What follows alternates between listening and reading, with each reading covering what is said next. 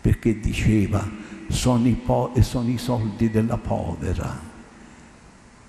Con quei soldi si è costruita la casa sollieva della sofferenza. E quando capitò anche questo, eh, non è che poi andò tutto a gonfierire, quando alcuni impiegati presi dalla moda, speriamo che non si faccia ancora, anziché lavorare timbravano il, il, il tesserino e uscivano fuori a farsi la passeggiata, e quando riferirono questo fatto, Padre Pio richiamò gli operai e disse, la vedete questa cento lire?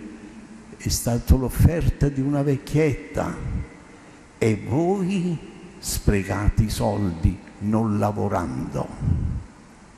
E li cacciò fuori. Allora, cosa ci dice il profeta Isaia?